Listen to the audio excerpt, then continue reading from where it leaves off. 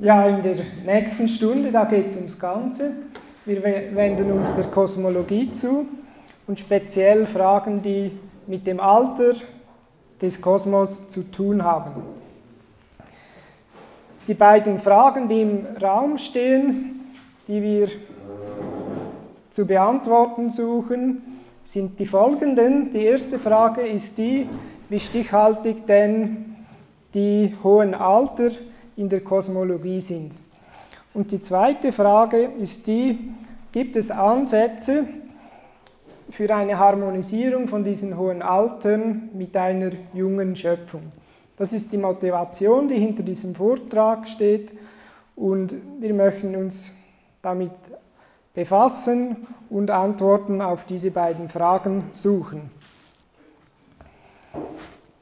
Das Programm sieht folgendermaßen aus. Ich werde zuerst ein paar Worte zum Standardmodell sagen.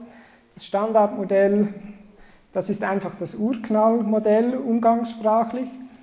Danach geht es um die Hubble-Konstanten. Das ist die Konstante, die das Alter des Universums bestimmt. Und da gibt es aktuell eine Kontroverse darum, wie, welchen Wert diese Konstante hat. Später werden wir uns die Homogenität der Hintergrundstrahlung anschauen und die Motivation dazu ist zu schauen, wie auch das Urknallmodell oder das Standardmodell mit Zeitmangel umgeht. Also das gibt es nicht nur in der Schöpfungsforschung, die Frage nach Zeit, zu wenig Zeit.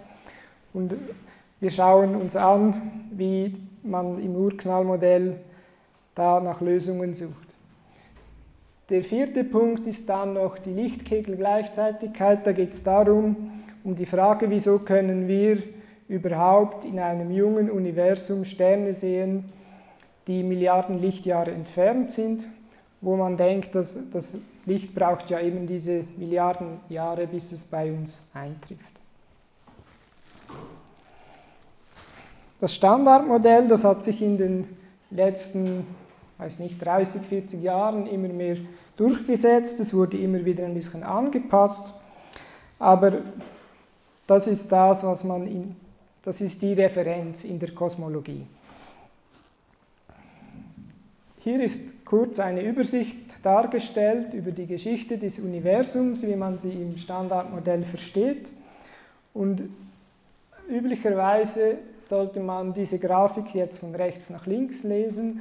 Das heißt, man nimmt den heutigen Zustand, wir befinden uns hier rechts, und überlegt sich dann, wie hat das Universum früher ausgesehen. Man weiß heute, das Universum dehnt sich aus, also wenn man das zurückrechnet, muss es früher kleiner gewesen sein. Und wenn man das einfach beliebig weit in die Vergangenheit laufen lässt, diese Überlegung, dann erhält man ein Universum, das immer dichter gepackt ist und das auch immer heißer ist. Am Anfang soll es dann eine Zeit gegeben haben, wo es auch noch keine Sterne gab, das wird als Dark Ages bezeichnet. Und aus einer noch früheren Zeit stammt dann die kosmische Hintergrundstrahlung, die man hier ein bisschen als grün eingezeichnet sieht.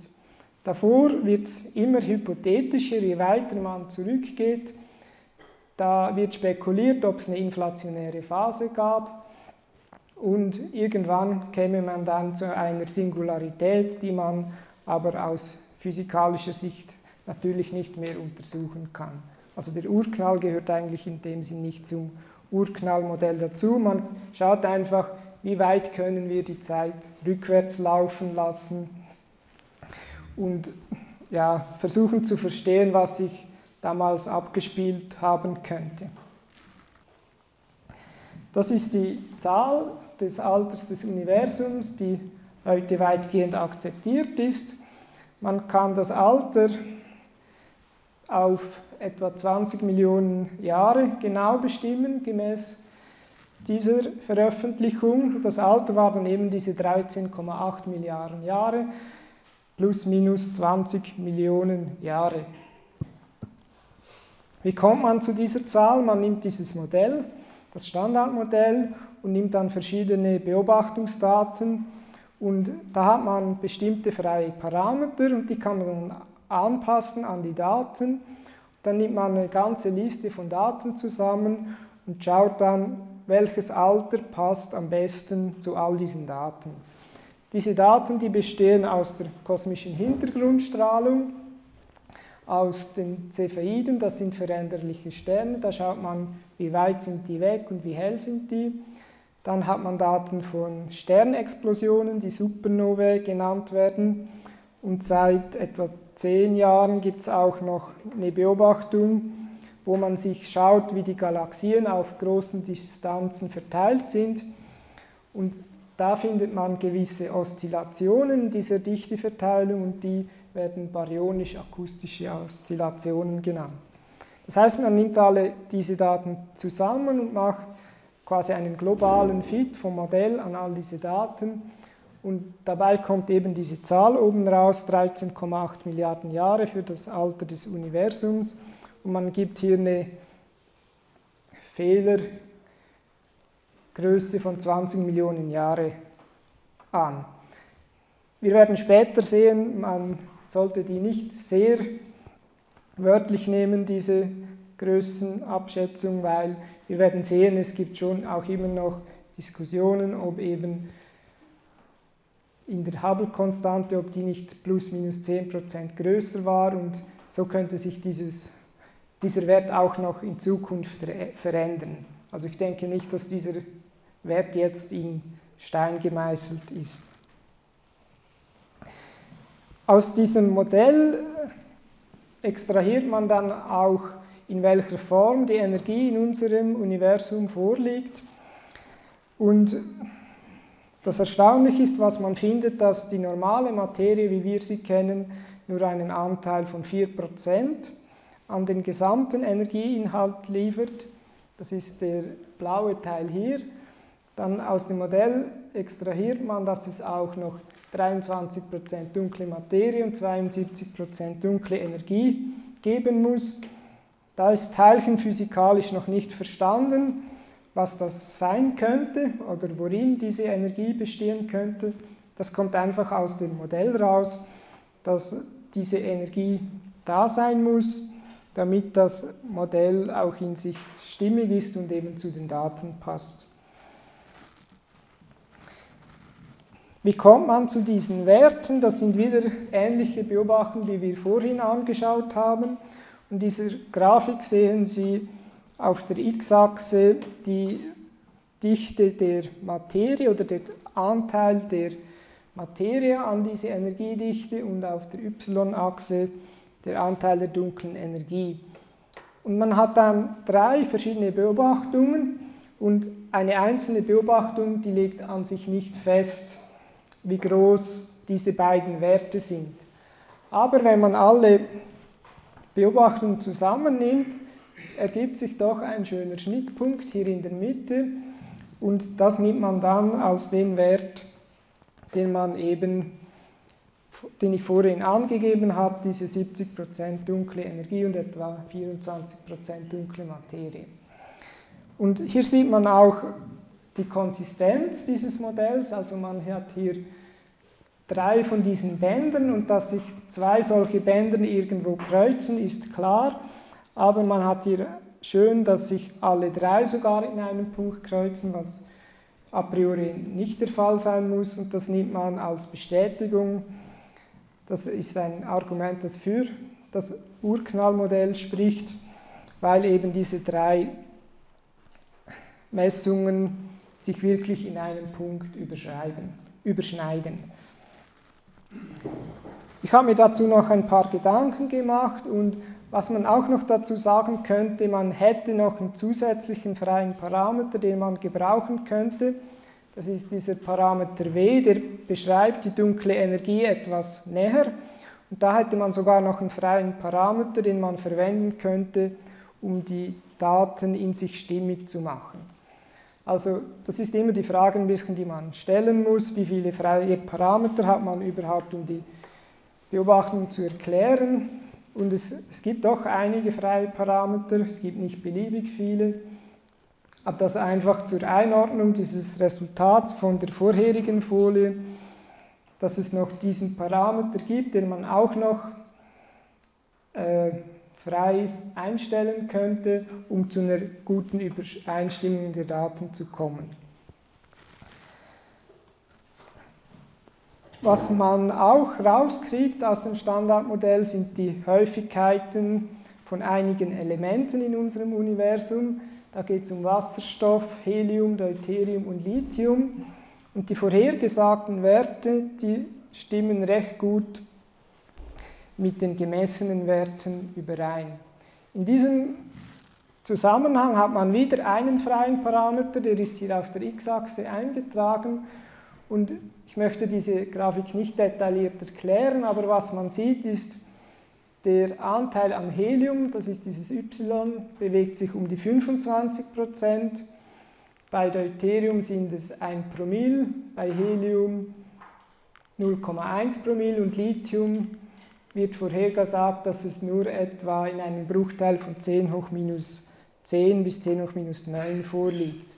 Und das Modell ist in der Lage, mit einem freien Parameter diese drei, es sind drei Werte, die vorhergesagt werden und die stimmen auch gut mit, mit den Beobachtungen überein, außer beim Lithium gibt es eine Abweichung von einem Faktor 2, aber in der Kosmologie ist das schon mal ein Erfolg, dass man die richtige Größenordnung vorhersagen kann.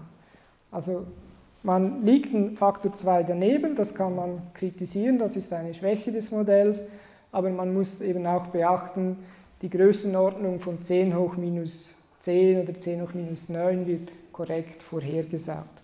Und das wird auch als Erfolg des Standardmodells angesehen.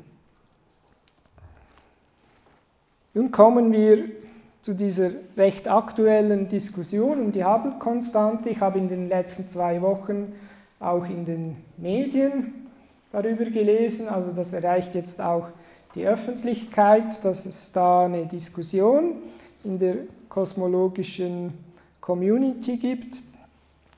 Und zuerst möchte ich einfach kurz erklären, was die Hubble-Konstante beschreibt. Die Hubble-Konstante beschreibt, dass sich unser Universum, so wie wir es heute sehen, ausdehnt. Und man hat hier als eine, als eine Funktion der Distanz hat man die Rotverschiebung aufgetragen und die Rotverschiebung steht einfach für die Geschwindigkeit, mit der sich eine Galaxie von uns wegbewegt. Und man findet jetzt, dass, man, dass sich eine Galaxie, je weiter sie von uns entfernt befindet, desto schneller bewegt sie sich von uns weg. Das ist diese blaue Linie, das rote sind einige Messpunkte und dann macht man ein Fit mit dieser blauen Gerade. Und hier kommt man auf einen Wert von etwa 68 Kilometer pro Sekunde pro Megaparsec. Und da geht es eben darum, welchen Wert man hier genau bestimmt für diese Hubble-Konstante. Wenn man diese Ausdehnung, die wir heute feststellen, rückwärts laufen lässt in der Zeit, kommt man dann eben auf ungefähr das Alter des Universums und in einem einfachen Modell, wo es eigentlich keine Materie im Universum gibt, kann man einfach den Kehrwert nehmen von dieser Hubble-Konstante und erhält dann eine Größenordnung für das Alter des Universums. Ich habe mal diese 68 Kilometer pro Sekunde pro Megaparsec genommen, habe den Kehrwert gebildet, dann kommt man auf diese 14,4 Milliarden Jahre. Also so kann man aus dieser Ausdehnungsgeschwindigkeit ausrechnen, wann wäre alle Materie in unserem Universum auf einen Punkt zusammengeschrumpft gewesen, wenn wir diese Ausdehnung rückwärts laufen lassen.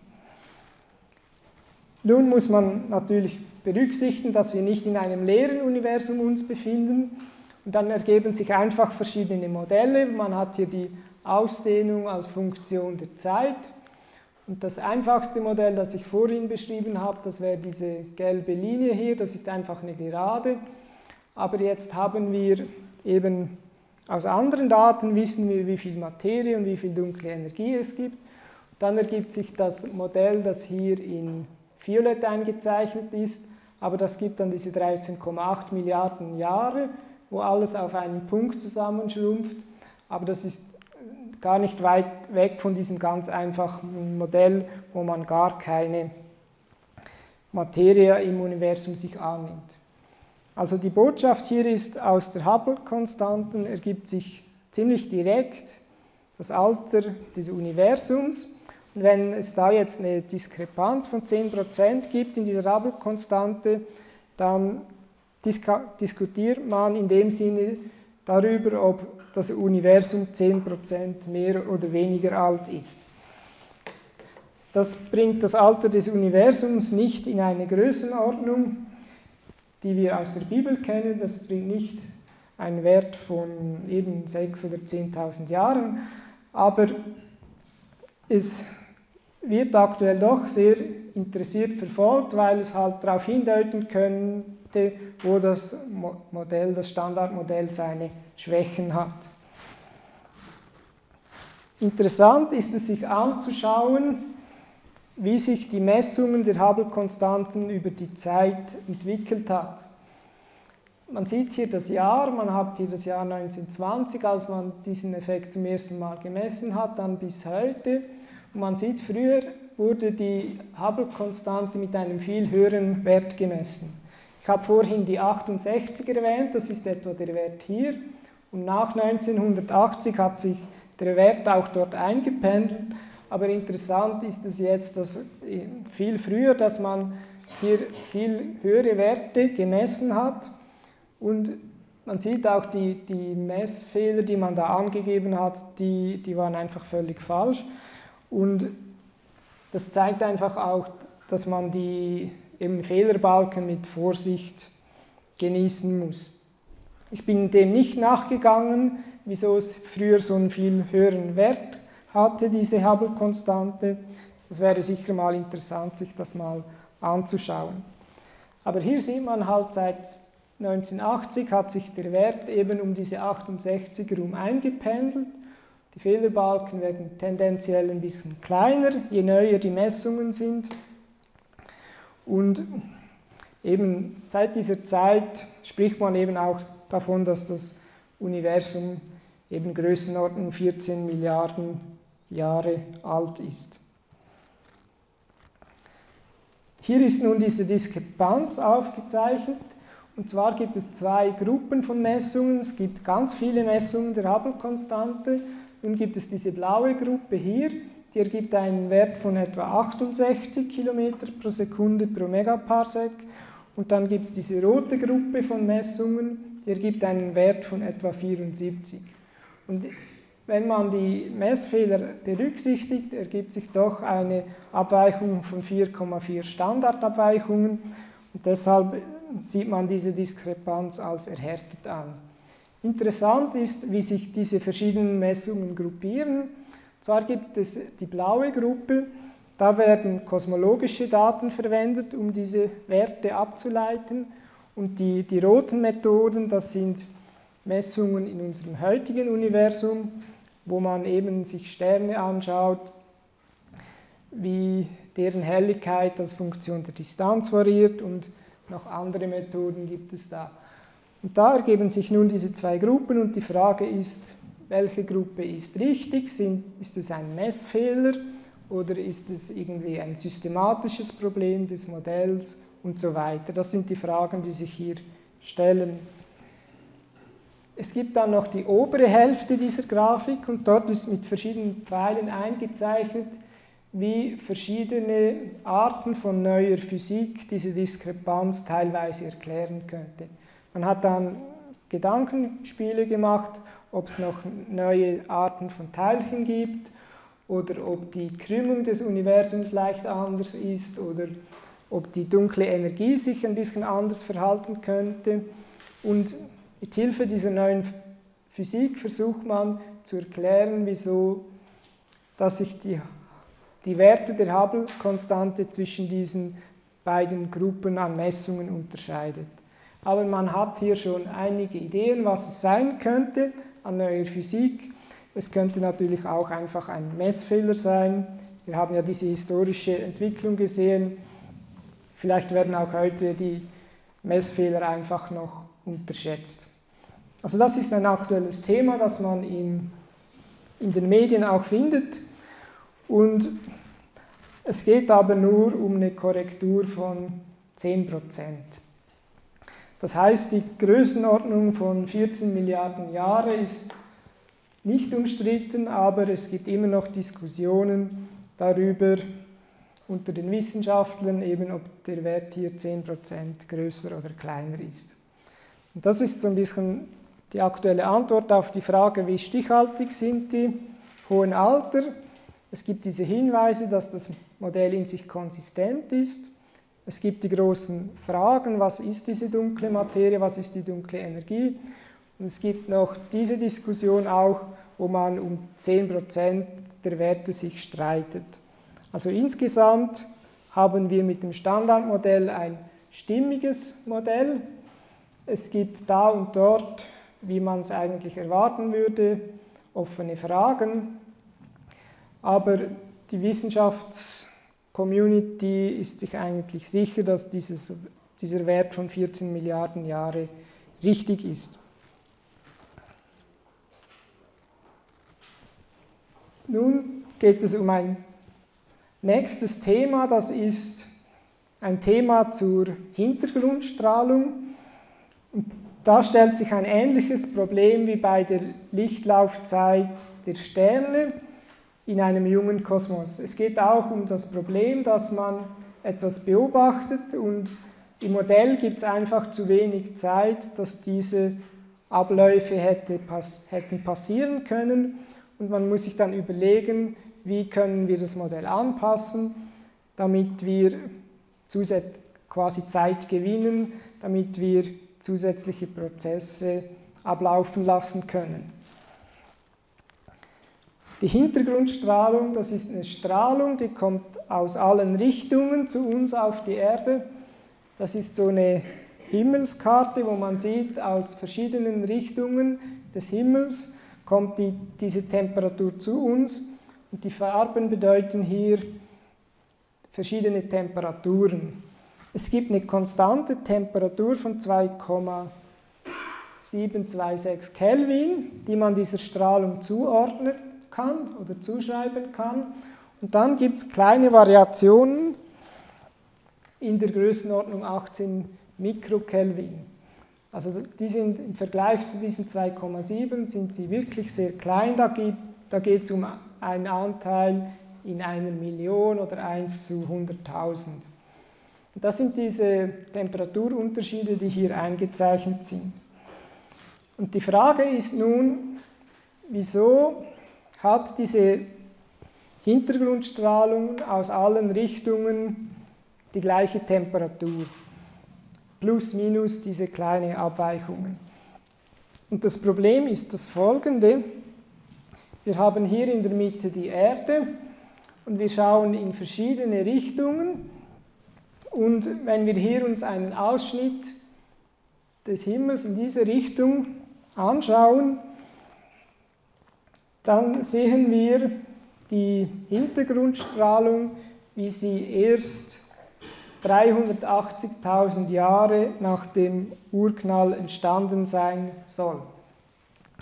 Das Problem ist nun, dass aber zwischen Urknall und dieser Zeit, als die Temperatur entstand, dass da zu wenig Zeit verging, dass diese Strahlung auf dieser Seite des Universums mit dieser Strahlung auf dieser Seite des Universums hätte in Kontakt kommen können. Das heißt, man hat zu wenig Zeit im frühen Universum, dass sich eine Gleichgewichtstemperatur in einem großen Teil des Kosmos hätte einstellen können. Und deshalb würde man erwarten, dass wenn es kein Gleichgewicht gab, dass die Temperaturen viel, Unterschiede viel größer wären, als wir sie heute beobachten. Und der kleine Kreis ist etwa eingezeichnet, wie weit dieses thermische Gleichgewicht sich ausgedehnt haben könnte. Das ist nur ein sehr kleiner Ausschnitt des Himmels. Hier ist die Erde, das wäre so, dieser kleine Ausschnitt hätte sich in einem Gleichgewicht befunden, aber die Temperatur hier aus der anderen Richtung hätte in kein Gleichgewicht kommen können mit dieser Region hier. Es gibt verschiedene Lösungsmöglichkeiten für diese offene Frage. Wie, wieso haben wir aus allen Richtungen die gleiche Temperatur? Die, der erste Vorschlag ist einfach, es ist einfach so, wie es ist. Und man kann sagen, das war Zufall oder man müsste dann eben von Feinabstimmung sprechen, weil dann eben die Temperatur aus dieser Richtung irgendwie halt zufällig sehr fein mit dieser da drüben abgestimmt sein müsste. Also das wäre so die Erklärung, wir haben keine Erklärung. Die inflationäre Phase wird vorgeschlagen, da kommen wir nachher dazu. Das ist eine Phase im frühen Universum, wo sich das Universum extrem schnell ausgedehnt haben sollte. Das ist die populärste Lösung und die dritte Lösung wäre, dass im frühen Universum die Lichtgeschwindigkeit höher hätte sein können, sodass dieses thermische Gleichgewicht sich über einen größeren Raum hätte sich einstellen können. Also das sind diese drei Vorschläge, aber normalerweise wird eigentlich nur die zweite Lösung, die inflationäre Phase, ähm, als gute Lösung angenommen. Hier ist diese inflationäre Phase zu Beginn des Universums nochmals eingezeichnet. Die Idee ist hier, beim orangen Pfeil hätten wir ganz am Anfang eine Phase, wo sich das Universum etwas langsamer ausgedehnt hätte. Und in dieser Zeit hätte sich das Gleichgewicht zwischen auf einer relativ kleinen Re Region einstellen können. Und nachher nimmt man an, dass sich das Universum exponentiell ausgedehnt hat. Und dann wären Regionen, die im thermischen Gleichgewicht waren, die wäre dann plötzlich viel größer, so dass eben Regionen, auch die heute sehr weit entfernt sind, doch zu einem frühen Zeitpunkt mal im Gleichgewicht gewesen wären. Also man gibt dem Universum hier ein bisschen mehr Zeit und macht es dann plötzlich ganz schnell viel größer. Und so waren auch weit entfernte Regionen heute, waren früher mal sehr nahe beieinander, so dass sich dieses Gleichgewicht hätte einstellen können. Diese Idee der Inflation ist aber sehr umstritten. Ich habe hier einige Schwierigkeiten dieser Theorie oder dieses Modells aufgeschrieben. Und zwar benötigt diese inflationäre Phase, braucht auch wieder Feinabstimmung, damit diese Phase überhaupt in Gang kommt am Anfang. Dann gibt es einfach die Frage, dass ein passender Auslöser für diese Phase unbekannt ist. Man kennt kein Elementarteilchen mit den nötigen Eigenschaften. Dann gibt es auch bisher keine Hinweise auf kosmische Gravitationswellen, wie man das in den einfachsten Modellen erwarten würde. Ein anderes Problem ist, dass unser Universum als Endprodukt eigentlich sehr unwahrscheinlich wäre und die ganze Theorie einer inflationären Phase ist eigentlich nicht falsifizierbar, dass, weil sie eigentlich mit allen äh, Ausgangsmöglichkeiten irgendwie kompatibel ist. Also man könnte die, das Modell immer so weit anpassen, dass es zu jeglichem Messergebnis passen würde. Also man kann es eigentlich gar nicht sagen, ob es richtig oder falsch ist. Das sind so ein bisschen die üblichen Kritikpunkte. Ich habe das in einem frühen Vortrag auch mal mit der Evolutionstheorie verglichen. Ich will jetzt nur kurz einmal diese Spalte anschauen, wo man halt so typische Merkmale findet, wie man mit einem Modell umgeht, wenn es eigentlich nicht mehr so gut passt. Man macht das Modell einfach komplizierter und macht es einfach da, damit auch immuner gegen Kritik. In diesem Fall habe ich gesagt, eben es ist eigentlich mit allen Messergebnissen irgendwie kompatibel. Man versucht Schwierigkeiten zu verdrängen.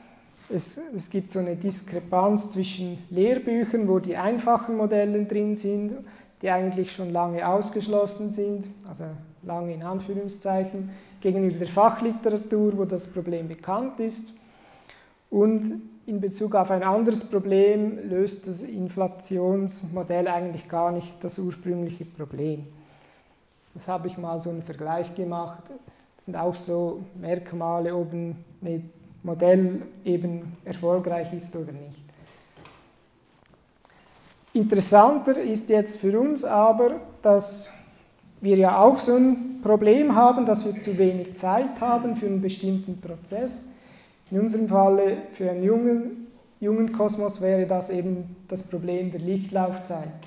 Das Interessante ist, dass eigentlich die genauen Lösungsvorschläge für beide Probleme vorgeschlagen wurden.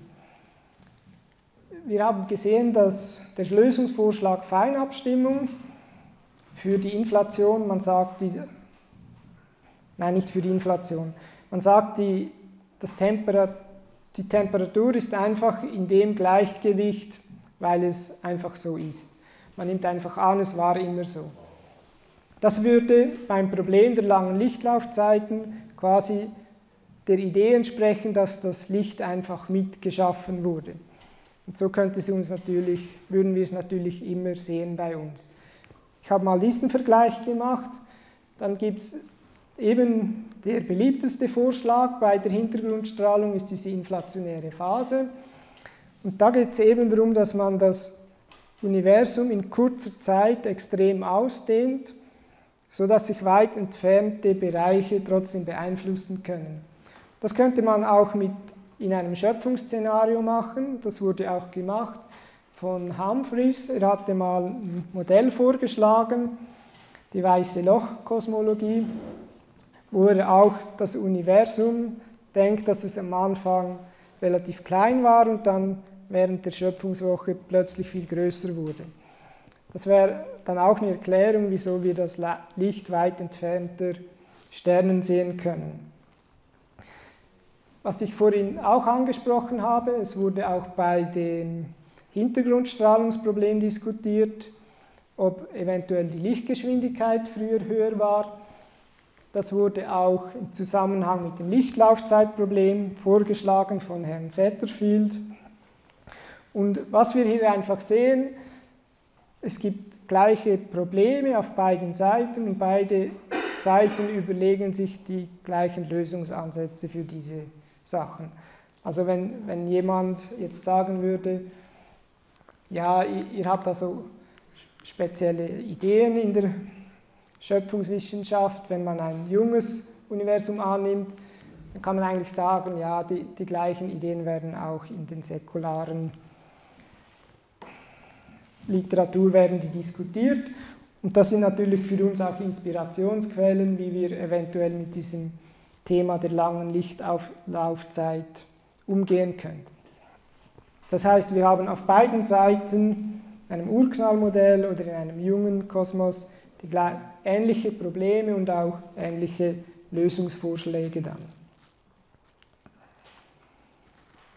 Jetzt möchte ich noch einen Lösungsvorschlag für dieses Problem der langen Lichtlaufzeiten mal vorstellen. Ich habe den Vorschlag mal Lichtkegelgleichzeitigkeit genannt. Ich habe darüber vor zehn Jahren mal einen Artikel geschrieben, der ist auf der Wortenwissen Homepage erhältlich, aber ich habe ihn noch nie in einem Vortrag vorgestellt. Darum möchte ich das hier mal noch nachholen. In dieser Folie wird mal kurz skizziert, wie man überhaupt die Lichtgeschwindigkeit bestimmen kann. Man hat eine Uhr, man sendet einen Lichtstrahl aus, der an einem Spiegel reflektiert wird. Man misst dann einfach die Zeit, wie lange es gedauert hat, bis das Licht wieder zurückkommt. Wenn man die Distanz d kennt, kann man dann die Lichtgeschwindigkeit als zweimal die Distanz durch die Zeitdifferenz ausrechnen. Wenn man das richtig macht, kommt man genau auf diese Zahl, auf diese ungefähr 300.000 Kilometer pro Sekunde. Das Interessante hier ist, dass man immer die Lichtlaufzeit hin und zurück misst. Also man nennt das auch die Zweiweg-Lichtgeschwindigkeit, die man so messen kann, weil das Licht immer in diese Richtung geht und dann wieder zurückkommt, bis man mit der Uhr die Zeitdifferenz messen kann. Das Problem langer Lichtlaufzeiten werdet ihr kennen. Die Frage ist, es gibt Sterne, die sind Millionen oder Milliarden Lichtjahre von uns entfernt und die, das Licht braucht heute eben so viele Jahre dann auch, bis es uns erreicht. Wenn wir jetzt einen jungen Kosmos anschauen, ist die Frage, gibt es überhaupt genug Zeit, dass dieses Licht bei uns eintreffen kann? Nun, diese Situation ist ein bisschen anders als hier, weil man hier das Licht sich nur in eine Richtung bewegt und es geht nicht hin und zurück. Das wird später eine Rolle spielen, weil man eben zwischen der Lichtgeschwindigkeit in eine Richtung und die Zweiweglichtgeschwindigkeit zwischen diesen unterscheiden kann. Nun, mögliche Antworten wäre eben, das Licht wurde schon erschaffen. Es gab eine veränderliche Lichtgeschwindigkeit, die war früher höher. Es gibt alternative Kosmologien, die auch das Problem zu lösen versuchen. Oder es gibt eben diesen Vorschlag von Jason Lyle, der dies vor, 10, nein, vor 15 Jahren mal vorgeschlagen hat. Und ich habe diesen Artikel aufgenommen aus dem Englischen und den einfach in, in Deutsch auch diesen Lösungsvorschlag verfügbar gemacht auf der, in einem Artikel auf der Internetseite von Wort und Wissen. Nun, in der Relativitätstheorie äh, ist es so, dass man zwei Uhren, die sich an unterschiedlichen Orten befinden, beliebig einstellen kann und dass man physikalisch nicht sagen kann, die eine Methode ist richtig und die andere ist falsch. Oder mit anderen Worten, es ist reine Konventionssache, wie man die beiden Uhren einstellt. Also wir haben hier eine rote und blaue Uhr, die rote zeigt 7 Uhr und die Gleichungen der Relativitätstheorie lassen uns die Freiheit, diese Uhren die blaue Uhr so nicht ganz beliebig, aber relativ beliebig einzustellen. Wir können die auf 7 Uhr einstellen, 6 Uhr 58 oder 7 Uhr 02.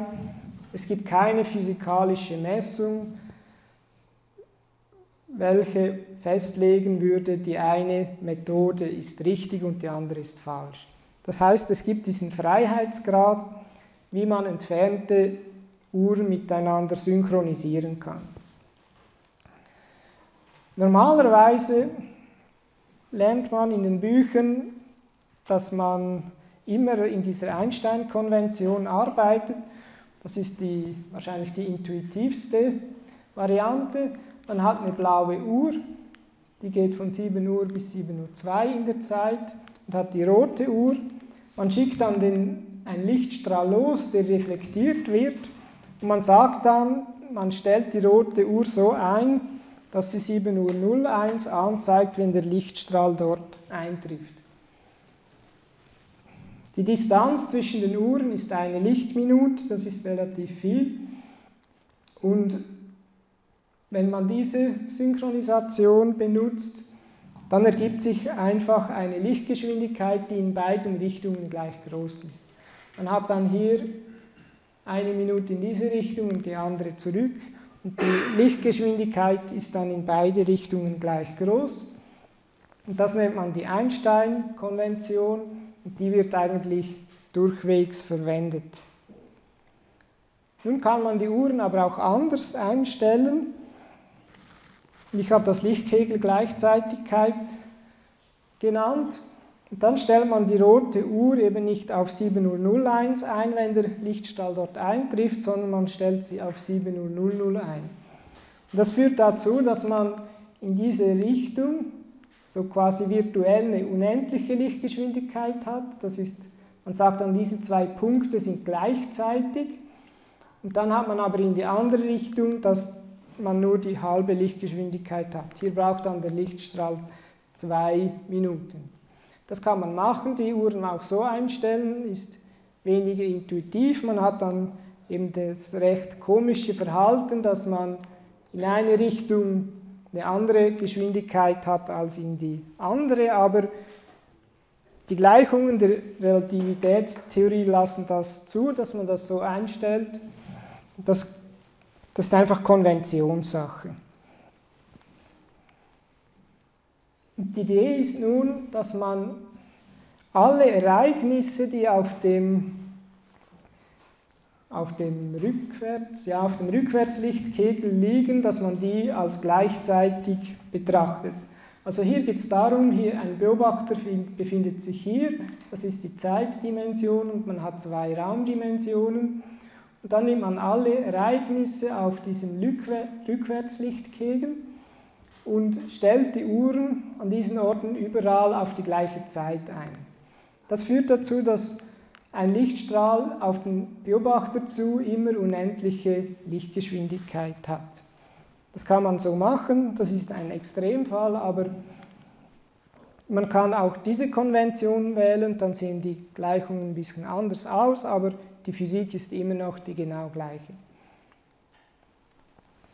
Nun, Einstein hat das auch mal festgehalten, dass das eben nur Konventionssache ist, wie man die Uhren einstellt. Und er hat dann mal in einer Arbeit geschrieben, er hat eine Strecke angenommen, AB, und einen Mittelpunkt M und hat dann zwei Lichtstrahlen betrachtet, die einen in dieser und einen in diese Richtung.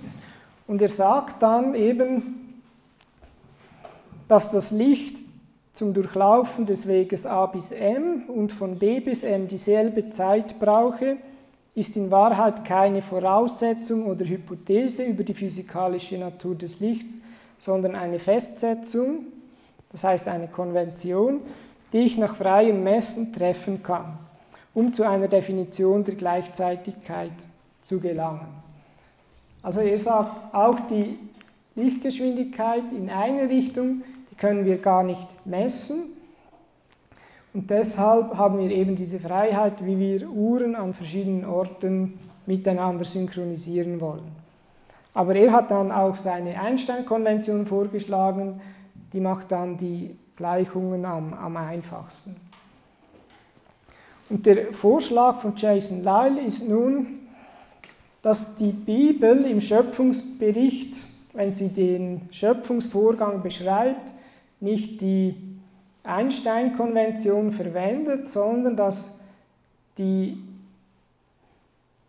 dass der Schöpfungsakt am vierten Tag diese Lichtkegelgleichzeitigkeit verwendet. Das heißt, aus Sicht Gottes oder aus Sicht des Schreibers des Schöpfungsberichts wären dann die Uhren so eingestellt, dass das Licht der Sterne, die am vierten Tag erschaffen werden, auch am vierten Tag auf der Erde eintreffen. Also wir haben wieder diese Lichtgeschwindigkeit in eine Richtung, die unendlich ist, und in die andere Richtung die halbe Lichtgeschwindigkeit. Aber das ist nur ein Artefakt davon, wie wir unsere Uhren einstellen. Und sein Vorschlag ist jetzt, dass die Bibel in der Sprache dieser Lichtkegelgleichzeitigkeit geschrieben wurde. Und dann würde das Licht auch gleichzeitig bei uns eintreffen. Und er argumentiert dann, dass das die natürlichste Art gewesen sei, um zu allen Zeiten den Schöpfungsbericht aufzuschreiben für uns und dass die Leute zu eigentlich fast allen Zeiten den Schöpfungsbericht dann auch so und korrekt verstanden hätten. Die Konsequenz davon wäre, dass wir heute jetzt ein Universum sehen würden, das in allen Entfernungen gleich alt ist. Das heißt, wenn am vierten Schöpfungstag die Sterne erschaffen worden wären, hätte man das Licht sofort bei uns gesehen. Und was wir heute sehen würden, ist einfach ein paar tausend Jahre später, die, die seither vergangen sind und wir würden die Sterne so sehen, wie sie ein paar tausend Jahre nach der Schöpfung ausgesehen hätten. Ich habe hier mal 6023 Jahre hingeschrieben, Das wäre das Datum nach Bischof irgendwas, Bischof Ascher, genau das bekannte Datum. Und das ist eine Hypothese, die man sogar testen könnte, weil im Standardmodell ist es ja so, dass man, je weiter man ins Weltall rausschaut, die Sterne in einem desto älteren Zustand sieht. Also so könnte man sogar die beiden ein Schöpfungsmodell mit, diesem, mit dieser Konvention unterscheiden von einem Universum nach einem nach dem Standardmodell. Wir können natürlich den Vorschlag von Jason Lyle auch in unsere eher gewohnte Sprache der Einstein-Konvention übersetzen. Und das würde dann so aussehen in der Einstein-Konvention, dass Gott das Universum von außen nach innen erschaffen würde. Das heißt, er würde um 6.58 Uhr die Sterne außen erschaffen, dann eine Minute später dieser Stern und dann um 7 Uhr würden, würde das Licht bei uns eintreffen. Das ist einfach jetzt übersetzt in diese andere Sprache, wie dieser Vorgang in der Einstein-Konvention aussehen würde. In der Lichtkegel-Konvention wäre das alles gleichzeitig, aber wenn wir in die Einstein-Konvention dann gehen, würde das Universum von außen nach innen geschaffen. Die Vorteile dieser Lösung sind, dass sie keine neue Physik benötigen. Es sind die Standardgleichungen der Relativitätstheorie, die immer noch gelten. Es hat auch die enorme Vorteile, dass die Bibel eine sehr natürliche Sprache verwendet, die eigentlich für alle Leute immer gut verständlich war, außer für ein paar Physiker die, die, die den Schöpfungsbericht im Licht der Einstein-Konvention gelesen haben. Also das Problem langer Lichtlaufzeiten wäre dann nur ein Scheinproblem, weil man die Bibel in, einem, in einer falschen Konvention gelesen hat. Und das ist das, was ich hier nochmals aufgeschrieben habe. Eben das Problem ergab sich, dass wir die Bibel seit Relativitätstheorie falsch interpretiert haben und zwar im Licht dieser Einstein-Konvention. Das löst natürlich nicht alle Altersfragen, die ein, junges, ein junger Kosmos aufwerfen würde. Im Besonderen wäre es keine Erklärung für die Sachen, die wir gestern gesehen haben, die eben darauf hindeuten, dass auch in den Sternen, in den Galaxien Entwicklungsprozesse abgelaufen sind weil in diesem Modell, wie gesagt, sehen wir die Sterne und Galaxien alle in einem jungen Alter. Das würde dann eben nicht erklären, wieso man diese Prozesse, die auf Alter hindeuten, heute beobachten würden. Es würde auch nicht erklären, wieso zum Beispiel die Galaxien, die weiter von uns entfernt sind, anders aussehen als Galaxien, die wir in unserer Nähe beobachten würden. Das sind so ein bisschen die Limitationen dieses Modells. Es ist einfach nur, es wäre nur ein Vorschlag, wie man das Problem langer Lichtlaufzeiten recht elegant lösen könnte. Als Zusammenfassung habe ich hier noch ein paar Literaturangaben, wo man noch mal ein paar Dinge nachlesen kann. Das ist die englische Literatur. Was ich heute zeigen wollte, ist, dass es immer noch Diskussionen gibt um diese Hubble-Konstante, die das Alter des Universums im Standardmodell festlegt. Aber diese Diskussionen bewegen sich in der Größenordnung 10% Wir haben gesehen, das Standardmodell benötigt zahlreiche Hilfshypothesen, damit es in sich stimmig ist. Aber man hat bisher immer solche Hypothesen gefunden, die das Modell stimmig machen. Als Beispiele könnte man eben diese Inflationsphase oder die dunkle Energie nennen oder vielleicht auch die neue Physik, die nötig wäre, um die 10% Diskrepanz der Hubble-Konstante zu erklären. Wir haben gesehen, dass man im Standardmodell, im Urknallmodell genau die gleichen Ideen hat, wenn es darum geht, wir haben da zu wenig Zeit, das gewisse Prozesse in unserem Universum hätten ablaufen können, eben dass da die gleichen Ideen diskutiert werden wie bei uns, wieso kann es sein, dass wir das Licht entfernter Sterne sehen. Dann habe ich nochmals diese Lichtkegelgleichzeitigkeit vorgestellt und wenn wir den Schöpfungsbericht in dieser Konvention lesen, dann ergibt sich eigentlich gar kein Problem eben, ergibt sich kein Problem eben mit der Frage, wie wir das Licht weit entfernter Sterne überhaupt sehen können. Herzlichen Dank.